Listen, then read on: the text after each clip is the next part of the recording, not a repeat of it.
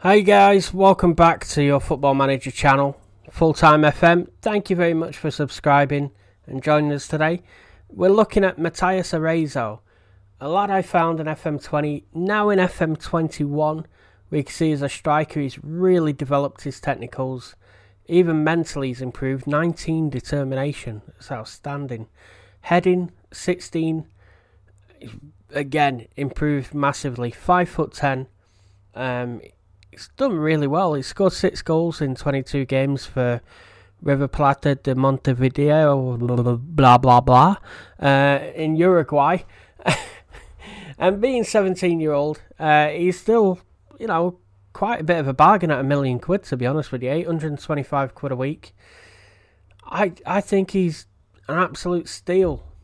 So we'll see how he develops over five years, but I just want to have a little sneaky little nibble, see how much they want for him. Oh, God.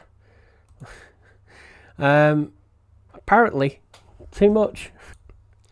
Well, it actually looks as though um, five million pound is the asking price for Matias Arezo, and I think, to be honest with you, five million quid for him, seventeen years old, absolute bargain. If you can get him for five million, Sebastiano Esposito for eleven million, they're your two strikers who are going to be phenomenal in the future for 16 million quid and just bide your time and develop them. Absolute bargain. So let's see where he is in five years from now. Okay, so looking at Matias Arezo five years later, the Uruguayan's now 22 years old. Uh, he's got his first international cap. And you see here, he was released on a free transfer by River Plate de Montevideo in Uruguay in 2022 signed up by Cruz Azul, who I think are in Mexico. Hang on. Yeah, there we go. Uh, so signing a free for Mexico. Oh, incredible. Goal scoring record 56 goals in 135 appearances, plus 17 assists.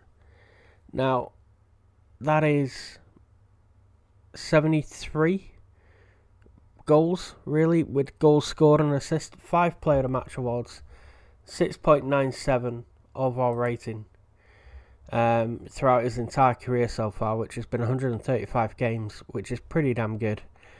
Acceleration 15, pace 12, natural fitness 14. Could be quicker, but here, finishing 13, I thought it would have been better there. Heading 16, which is good. He's only 5'11.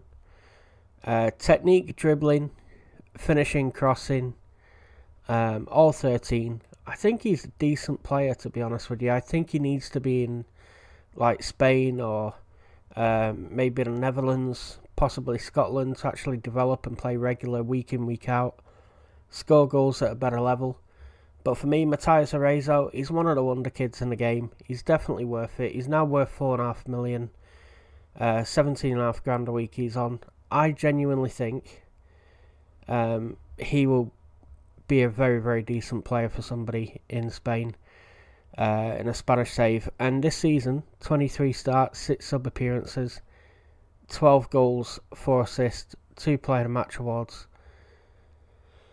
Very good player. Definitely one of the bargains in FM21.